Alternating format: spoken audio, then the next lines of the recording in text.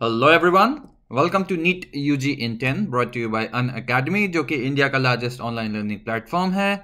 यहाँ आपको मिलती हैं daily live classes live test and quizzes structured courses and अगर आप हमारा सब्सक्रिप्शन लेते हैं, हमसे जुड़ते हैं तो आपको मिलता है अनलिमिटेड एक्सेस हमारे जितने भी मटेरियल्स हैं और जितने भी वीडियो लेक्चर्स हैं उनकी। तो हमसे जुड़ने के लिए आप Unacademy learning app download करें गूगल प्ले स्टोर पे जाके या ऐप स्टोर पे जाके एंड उसके बाद आपको लेना होगा हमारा पेड सब्सक्रिप्शन तो पेड सब्सक्रिप्शन के नीट यूजी के लिए कई ऑप्शंस अवेलेबल हैं one three six twelve twenty four लेकिन एक साल या दो साल सबसे ज़्यादा पॉपुलर होता है क्योंकि नीट यूजी का सिलेबस काफ़ी वास्ट होता है एंड टाइम लगता है उसकी प्रिपरेशन में. तो ऑन टॉप ऑफ़ दैट आप मेरा कोड लव टेन ये यूज़ करते हैं तो आपको मिलता है टेन परसेंट का और ऑफ़ जो भी हमारी बेस प्राइस थी। uh, मेरा नाम लव किशोर श्रीवास्तवा है। मैं इस समय मैगिल यूनिवर्सिटी कनाडा में एज अ रिसर्चर काम कर रहा हूँ। आप मुझसे जुड़ना चाहते हैं मुझसे क्वेश्चन पूछना चाहते हैं डिस्कशन करना चाहते हैं तो मैंने अपना टेलीग्राम लिंक यहाँ दे दिया है। अच्छा तो अब बात करते हैं। हमने लास्ट पिछले लेक्चर्स में ह्यूमन फिजियोलॉजी शुरू की थी। हमने सर्कुलेटरी सिस्टम पढ़ लिया, हमने एक्सक्रीटरी सिस्टम पढ़ लिया, हमने डाइजेस्टिव सिस्टम पढ़ लिया। अब नेक्स्ट हम बढ़ेंगे स्केलेटल सिस्टम पे, ठीक है? तो स्केलेटल सिस्टम बेसिकली आप देखें तो उसके क्या क्या काम हो सकते हैं? हमारी बॉडी का जो एक फ्रेमवर्क है, पूरा वो डेवलप करता है। और उससे ज़्यादा इंपॉर्टेंट होता है कि मूवमेंट में हेल्प करता है। हमको एक जगह से दूसरी जगह जाना है। अब आप इमेजिन कीजिए कि आपके अंदर बोन्स नहीं है हड्डी नहीं है तो आप जा पाएँगे नहीं जा पाएँगे। तो मूवमेंट जो है वो बहुत एसेंशियल चीज़ है एक ह्यूमन uh, बींग्स के लिए किसी के लिए भी। तो आज लेक्चर इसी के बारे में करते हैं कि मूवमेंट कितने तरीके के मूवमेंट क्योंकि ऑर्गेनिजम्स तो बहुत होते हैं। अब आप जाके अगर एक अमीबा का एग्ज़ाम्पल ले लीजिए, अमीबा के पैर तो होता नहीं तो अमीबा को एक जगह से दूसरी जगह जाना है। या मूवमेंट सिर्फ़ एक जगह से दूसरी जगह जाने को ही मूवमेंट बोलते हैं, या और कोई डेफिनेशन भी होती है। आज इन्हीं सब पे डिस्कशन कर लेते हैं। तो अब बात करते हैं कि कितने टाइप के मूवमेंट हो सकते हैं। तो अब सबसे पहले डिफाइन अगर आप करेंगे कि मूवमेंट है क्या, जो मैंने आपको बताया, कि वाइड रेंज ऑफ़ प्लांट है, ठीक? अब प्लांट है प्लांट फिजिकली एक जगह से दूसरी जगह तो जाता नहीं, ऐसा तो है नहीं कि आज आपने एक बरगद का पेड़ यहाँ देखा तो कल आपको आपके घर पे मिलेगा, ठीक? तो अब आप समझ रहे हैं कि मूवमेंट का सिर्फ़ एक स्पेसिफिक मतलब चलना ही नहीं हुआ, है ना? तो और क्या क्या चीज़ें आ सकती हैं? अब जैसे मैंने अमीबा का एग्ज़ाम्पल बताया था तो अमीबा में एक चीज़ होती है streaming streaming of protoplasm protoplasm क्या? साइटोप्लाज्म बोल दीजिए आप। तो अब आप स्ट्रीम देखते हैं। ये जो प्रोटोप्लाज्म है, ये खुद भी मूव करता रहता है। जैसे स्ट्रीम जैसे नदी बहती है ना तो वैसे ही प्रोटोप्लाज्म भी मूव करता रहता है अमीनो अमीबा के अंदर। तो ये भी तो एक तरीके का मूवमेंट हुआ।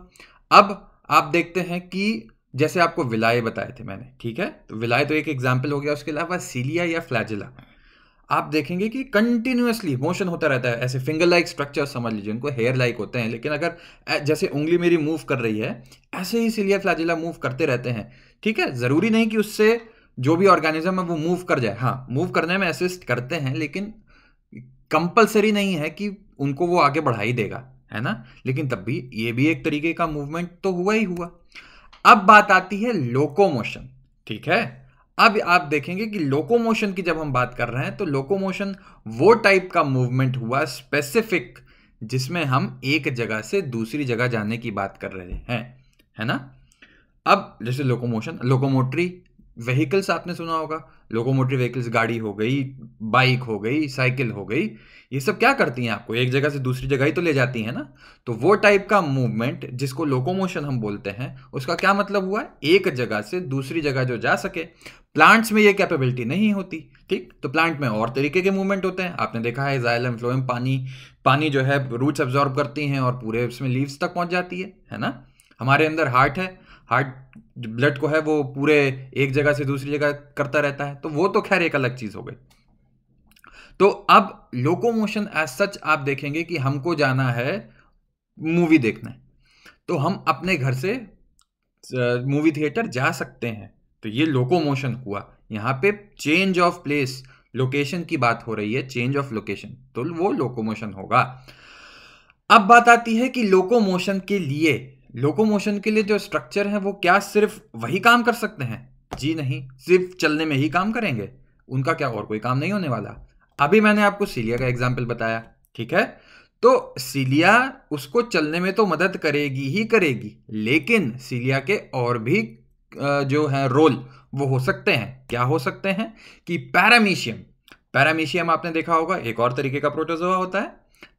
पैरामीशियम में सीलिया होता है, वो उसको खाने में भी मदद करता है। चलने में तो मदद करेगा ही करेगा, इसमें तो कोई डाउट ही नहीं है। लेकिन साइटोफेरेंक्स साइटोफेरेंक्स एक तरीके से फेरेंक्स क्या रीजन आपको बताया था? जो कॉमन था, है ना? कॉमन था ना? मुँह और डाइजेस्टिव सिस्टम और जो आपका नेजल सिस्टम है, उसके बीच में कॉमन था ना? तो अभी समझ लीजिए हेड से ही रिलेटेड चीज़ है। तो साइटोफेरिंग्स पैरामीशिया में एक चीज़ होती है हेड से रिलेटेड है, यानी कि खाना वहीं से खाएगा। हम अपने हेड से ही, मुँह से ही तो खाना खाते हैं ना? तो वही चीज़ हो गई कि सीलिया हेल्प करता है पैरामीशियम को खाना खाने में भी। ठीक? साइटोफेरिंग्स अभी हमारा टॉपिक नहीं है तो उस पर बहुत फोकस नहीं करते। तो मेन चीज़ ये है कि जो लोकोमोटरी ऑर्गन्स हैं, वो और भी काम कर सकती हैं। अब हाइड्रा की अगर बात कर ली जाए तो हाइड्रा में टेंटिकल्स होते हैं। होते हैं ना टेंटिकल्स आपने पढ़ा होगा जब आपने प्लांट किंगडम पढ़ा होगा। तो हाइड्रा में टेंटिकल्स सिर्फ़ चलने में मदद करता है।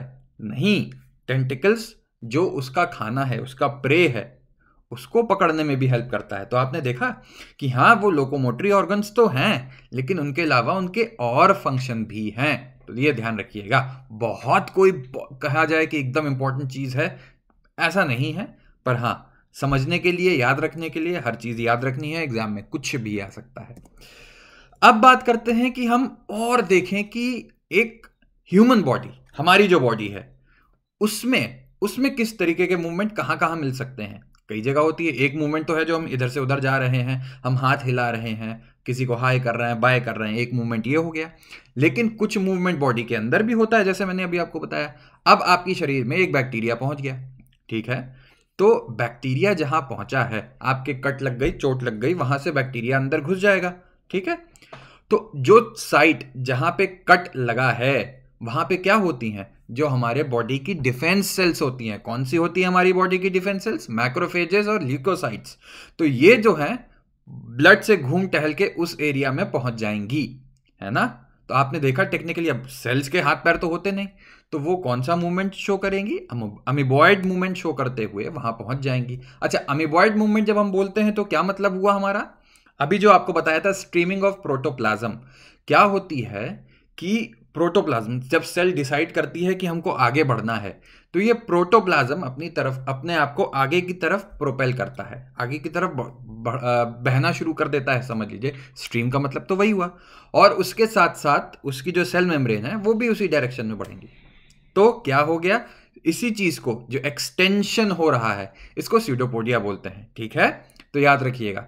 अमीबा का में ये बहुत अच्छा एग्ज़ाम्पल होता है। इसीलिए इसको अमीबॉयड मूवमेंट बोल रहे हैं। लेकिन ये जो सेल्स हैं, वो ये टाइप के मूवमेंट जहाँ जहाँ शो करेंगी, उसको हम इबॉइड बोलेंगे। हमारी बॉडी में कहा होगा? माइक्रोफेजेस और ल्यूकोसाइट्स ठीक है? अब साइटोस साइटोस्केल्टन जो होता है हमारा, उसकी बात भी कर लें, उसमें भी माइक्रोफिलामेंट्स होते हैं जो अमीबॉयड मूवमेंट में इन्वॉल्व होते हैं।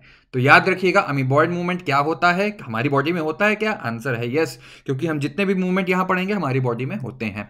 फिर सिलियरी मूवमेंट सिलियरी मूवमेंट आपको सबको पता ही है। विलाई बताया था आपको, ठीक है? बहुत सारी ट्यूबुलर ऑर्गन्स हैं जिसमें विलाई लाइक स्ट्रक्चर होते हैं। सीलिया बोल सकते हैं उनको, जो हमेशा कंटिन्यूसली मूव करते रहते हैं। मूव करने के उनके बहुत से काम हो सकते हैं, जैसे हमारे ट्रैकिया में। ट्रैकिया में सीलिया मूव करते रहते हैं तो हमने सांस ली डस्ट पार्टिकल्स कूड़ा कचड़ा कुछ भी एयर के साथ आ गया तो उसको वो फ़िल्टर भी कर देगा वहाँ। ठीक है? अब फीमेल रिप्रोडक्टिव सिस्टम में आप देखें, है ना? वहाँ पे भी सिलियरी मूवमेंट होता है ओवा के मूवमेंट के लिए। तो आपने देखा, वहाँ भी मूवमेंट आ रहा है, और फिर आ जाता है मसल का मूवमेंट मुँह है, दांत है हाई कर रहे हैं, हम बाय कर रहे हैं, हम चल रहे हैं। तो इस टाइप के मूवमेंट में मसल्स इन्वॉल्व होती हैं, है ना? इसलिए इसको हम मस्कुलर मूवमेंट में गिनेंगे। तो और लास्ट पॉइंट है कि लोकोमोशन जो है मस्कुलर और स्केल्टो न्यूरल एक्टिविटी के बीच का कोऑर्डिनेशन होना चाहिए जो हम आगे डिस्कस करेंगे डिटेल्स में। ये चैप्टर ही स्केल्टल सिस्टम का है। तो आई होप कि एक बेसिक आइडिया आपको लग गया हो कि मूवमेंट कितने तरीके के हो सकते हैं क्योंकि स्केल्टल सिस्टम समझने से पहले हमको ये जानना ज़रूरी था। तो आ, हमारा चैनल लाइक कीजिए सब्सक्राइब कीजिए अन अकेडमी से मेरा कोड लफ्ट एंड यूज़ करके and thank you thank you so much